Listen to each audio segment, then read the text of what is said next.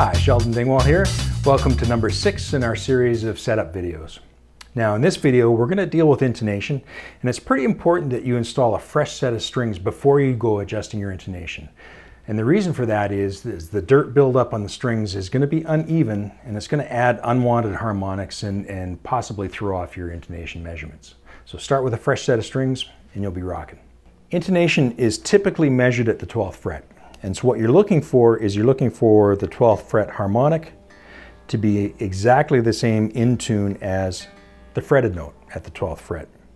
Often they're not, and if they're not equal, then you're going to end up with tuning problems and it's going to sound terrible.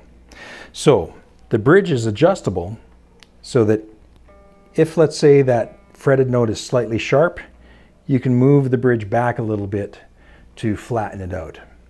If for instance that fretted note is flat, well then you can just bring the bridge forward a little bit, shortening the string and sharpening it up. Good bass strings are really hard to make. And every now and again, there's gonna be a string with a loose winding on it. So if you find that you've bought a fresh set of strings and one of the strings just refuses to intonate properly or sounds odd, chances are you've got a bad string and you're just gonna have to replace it. There's no other way around it. I hope you enjoyed this series of setup videos. Hopefully you have enough information now to either set up the bass yourself or know when it's time to take it to a professional so that it can be set up for you. Ideally, the instrument now is going to be more enjoyable to play, you'll play longer, and you'll be able to focus on the music instead of focusing on the instrument.